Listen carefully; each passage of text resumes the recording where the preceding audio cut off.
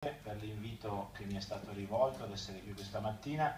Sono naturalmente venuto molto volentieri. All'ingresso ho detto ai miei colleghi consiglieri, che ringrazio per essere presenti, al sottosegretario Sala, componente della nostra giunta, il presidente eh, Romeo, il, il, il consigliere Carugo, tutti coloro che con me condividono le, le, difficoltà della gestione di oggi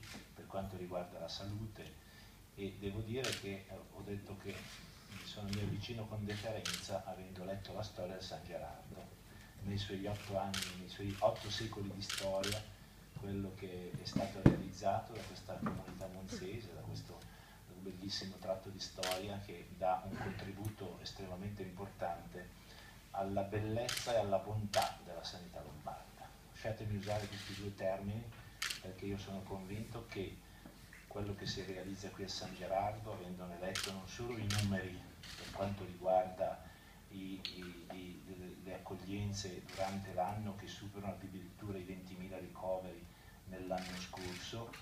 i 3 milioni e 500 prestazioni di ordine ambulatoriale, cioè sono numeri che fanno riflettere tutti per dire che se ci, se ci si avvicina a San Gerardo lo si fa per convinzione, per scelta e io ne sono convinto perché qui si trovano le più alte eccellenze di Regione Lombardia.